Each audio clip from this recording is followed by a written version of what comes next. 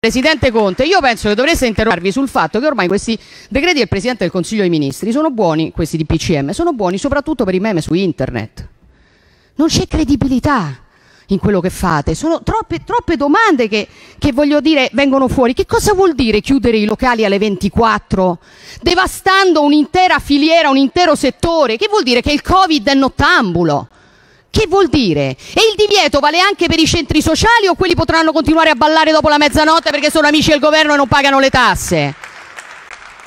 E come si misura la differenza tra attività motoria e attività sportiva? Qual è la velocità in chilometri orari dell'andatura per stabilire se uno sta facendo attività motoria e sportiva? Se mi alleno per la marcia mi multano.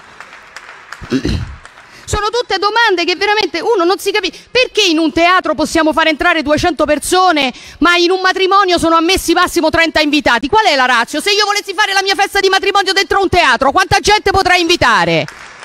E che vuol dire che non si possono somministrare gli alcolici fuori dai locali dopo le 9? Stiamo combattendo il Covid o la cirrosi epatica? Ma vi rendete conto di quanto tutto questo sia francamente ridicolo? Che cos'è giuridicamente una festa? Come si misura una festa giuridicamente? Bisogna essere allegri, se si è tristi è ugualmente una festa e chi dice che per fare una festa servono molte persone? Io ho visto un sacco di gente che si annoiava e ho fatto festa con una persona sola.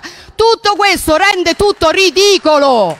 Concluda. E il risultato, e concludo Presidente, e il risultato rischia di essere che noi trasformiamo anche il mostro del Covid in una farsa grottesca, perché manca la credibilità.